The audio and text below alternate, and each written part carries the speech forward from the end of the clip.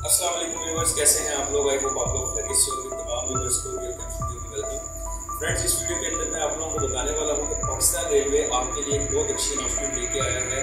और वो अनाउंसमेंट ये है कि पाकिस्तान रेलवे ने ऐलान किया है कि तमाम पैसेंजर ट्रेन जो कि लाहौर से कराची और कराची से पिशावर और रास्ता लाहौर चलती हैं और लोग उसमें ट्रैवल करते हैं, तमाम ट्रेन की जो टिकट प्राइस है, उसको रिड्यूस करने का ऐलान किया है। और इस वीडियो के अंदर मैं आप लोगों को तफसील से बताने वाला हूँ कि पैसेंजर ट्रेन ट्रेन के ऊपर कितना टिकट कम हुआ है और वो टिकट आप कैसे बाय कर सकेंगे इस वीडियो के अंदर तमाम ट्रेन के बारे में उनकी टिकट की तफसील के साथ आपको डिटेल्स दूँगा।